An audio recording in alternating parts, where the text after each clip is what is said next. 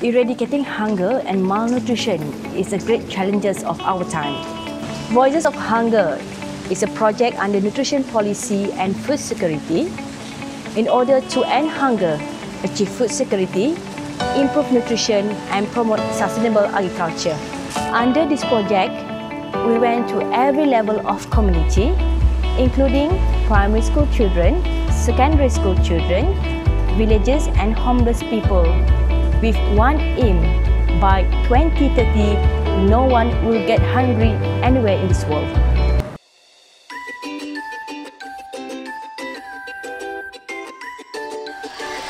Um, spaghetti carbonara. Mi goreng ah. Uh, spaghetti. Nasi ayam. Cepat ikan mati. Nasi minyak. Nasi ayam. Nasi ayam. Tomato. Terong. Buah. Ah, nasi kabu. Spaghetti. Lauk yang banyak sayur lah. Sayur. Akan buang. Ambil lepas tu uh, uh, bagi kat orang ah yang memerlukan makanan. Uh, bagi dekat orang yang susah ataupun jiran sebelah. Bagi kat orang lain. Uh, makan je lah sebab uh, itu je yang ada. Of course saya akan letak tepi uh, dan saya buang je lah.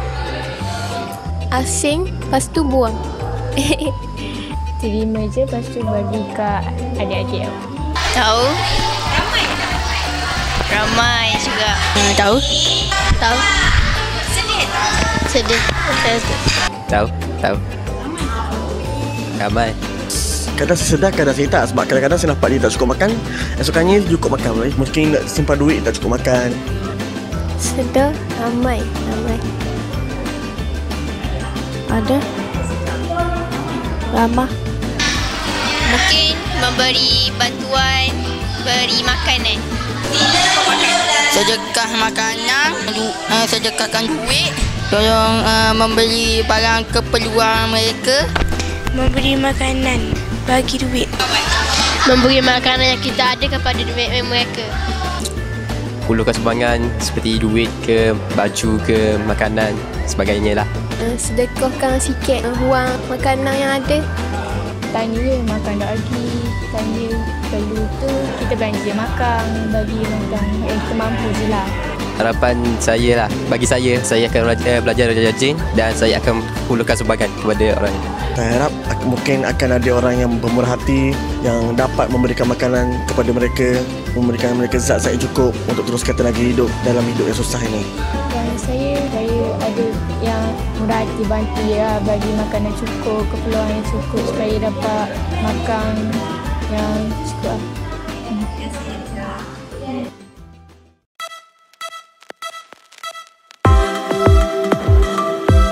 nama saya Ahmad Faizi daripada Kota Baru.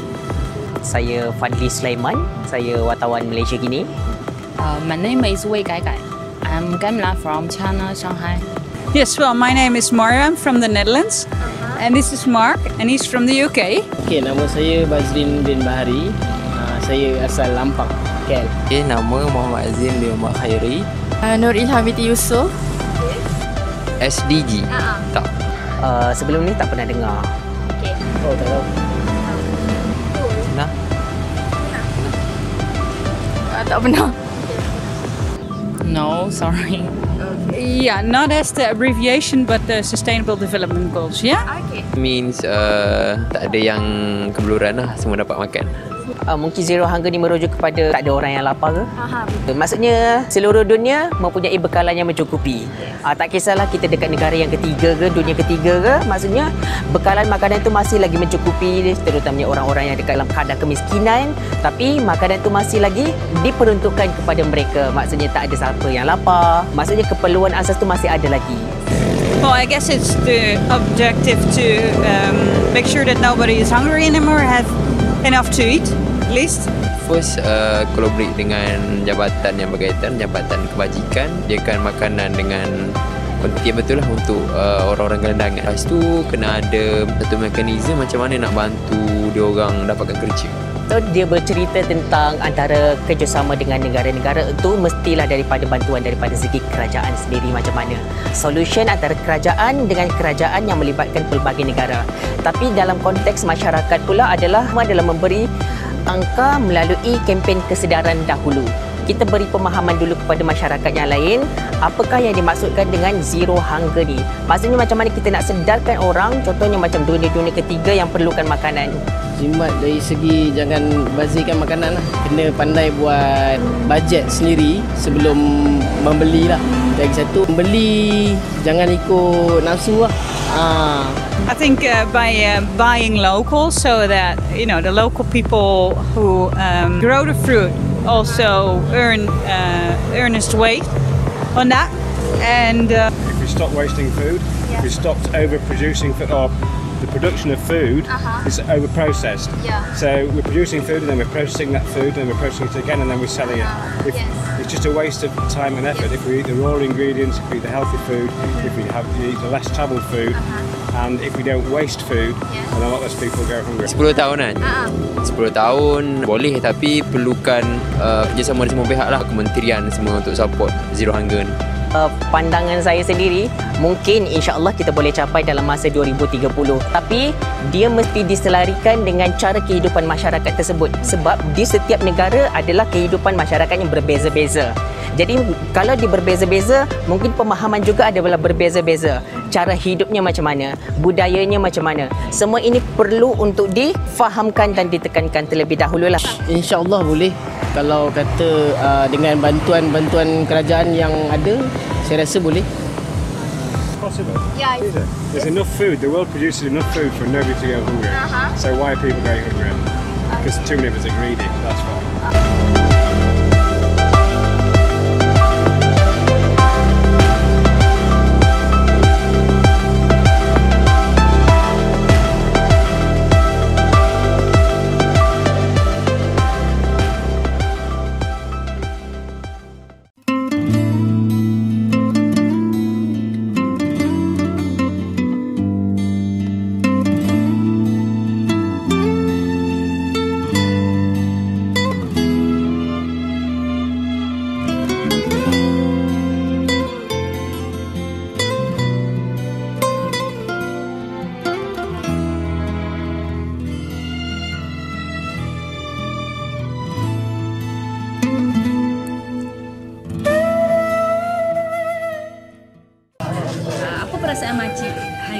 Alhamdulillah, masih suka.